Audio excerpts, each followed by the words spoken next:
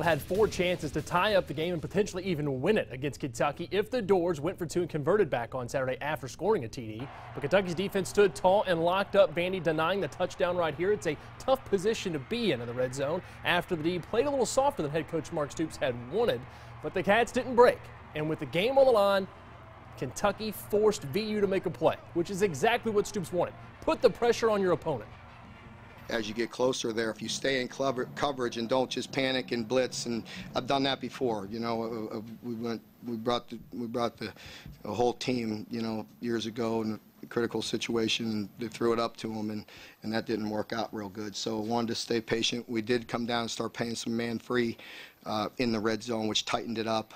But we wanted to make them earn it and get the ball in the end zone because when you got a lot of guys in coverage, it does get hard.